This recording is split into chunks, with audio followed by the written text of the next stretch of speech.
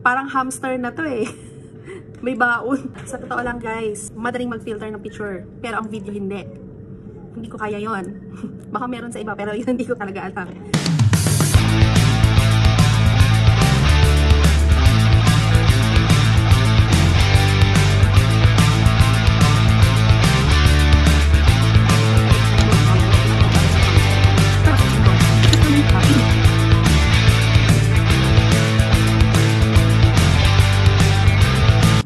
Hello once again! Welcome back! This time, I'm going to show you how to use the contour and the highlighter. Doon sa mga nakakakita sa akin in personal, nagtataka sila bakit daw? Bakit daw lumiliit ang mukha ko? Paano ko daw ginagawa yon? Kasi alam nilang chubby-chubby talaga ako, chubby-chubby. Hmm, ayan, maksa natin. Nag, nag, ko lahat naman tumaba talaga ngayong quarantine, di ba? Lalo na bagong panganak pa. So, ang aking kakampi at ang aking best friend sa ngayon na sumasalba sa akin everyday ay contour. Contour lang yan, Day. Ko sa inyo kung paano ah. Hindi ako nagpi-filter. Hindi lumalabas yung, yung product, yung ganda ng product. So, ginagawa ko na lang siya talaga ng paraan. Sa totoo lang guys, madaling mag-filter ng picture. Pero ang video hindi. hindi ko kaya yon. Baka meron sa iba, pero yun hindi ko talaga alam.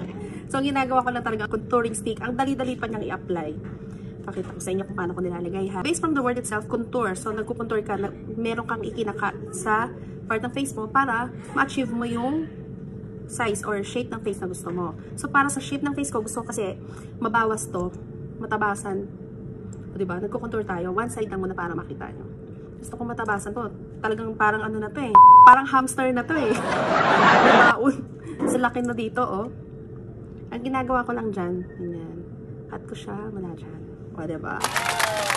So, yun ang gusto ko ma-achieve. Gusto ko siyang makat eh. So, ganun ko siya. Kung gusto ko, mas, mas, ano pa, mas, maha, mas matabasan pa siya. Dito, tataasan ko yan. Mm. O, diba? hindi ko pa yan, na, hindi ko pa siya inibiblend, ah. Ganyan lang. Kagandahan dito sa Mary Kay na contour, dali niyang i-apply. Tapos dito, kung talagay ka dito, and dito. Yan. Ang ginagamit ko na pang blend ay oval, oval brush. Kung dati problema ko paano patatabain yung mukha ko, ngayon ang problema ko paano paliliitin kasi nga sobrang lumapad talaga. Nung bata ako, Diyos ko po, pag lumalaki ang mukha ko, tuwan-tuwa ako eh. Ngayon ako, pag nagkakaedad ka na pala, hindi na magandang tignan. Kailangan tabasan natin yun.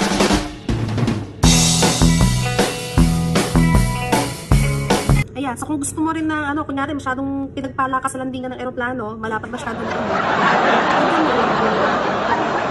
Kasi yung ginagawa ng contour is nagkikreate siya ng shadow. So, nagmumukhang maliit tignan yung isang bagay pag nilagyan mo siya. Parang yun nga, parang tinatabasan mo talaga siya. Yan, blend lang natin maigi. Ang daling i-apply. Tapos pwede nyo rin siyang gamitin sa nose. Ito ginagawa na sa nose. Ay, hindi ko masyadong pinapractice to kasi ayoko nang masyadong matangos ang ilong eh.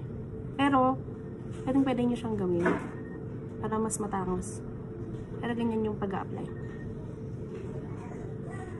Diba? Instant tangos. Sumobra ng tangos. Yan ang tinatawag na magic. magic sa ano?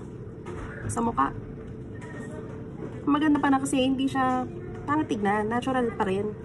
Kahit na nakakontour ka. Mm. Ayan. Natapos ang ating contour. Kamusta? May pagbabago ba? Hindi na halata ang aking mala hamster. Oh, huwag yung pansinin niya isang papansin dyan. Ha? Papansin yan eh. Hindi na halata ngayon yung bagahin natin dito, yung hamster. Manda talaga sa akin yan mamaya. May atraso kasi yan, kaya ganyan. Mm. Game over. So, yun ang effect ng naka-contour. Yun ang advantage niya. So, hindi halata yung ating mga excess baggage sa sa baba, lalo na particularly. Parang hamster na to eh. May baon. So, laki na dito, oh. Ang highlighter naman, dito siya nilalagay. Oh, para mas matangos ang nose. Then, on this part. Then, this. On here. Here. So, sa mga gusto mong i-highlight na part ng Maganda talaga sa Mary Kay, guys. Ano, madali siyang i-apply. Kahit hindi ka pro, makeup artist, magmumukha kang pro. Hmm, diba? As easy as that. So that's it for our final look. Ayan, nakapag-contour na tayo, nakapagtabas na tayo ng mukha, nakapag-highlight na din. Take a closer look and without light.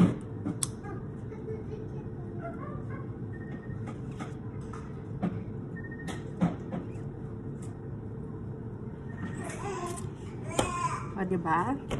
Guys, mantalayin natin itong contour natin at saka ang highlighter ay naka-sale. If you want to know more, just PM me. Sobrang affordable na lang niya. Kahit pang araw-araw yung pang gamitin, walang problema. See you on my next video. Thank you!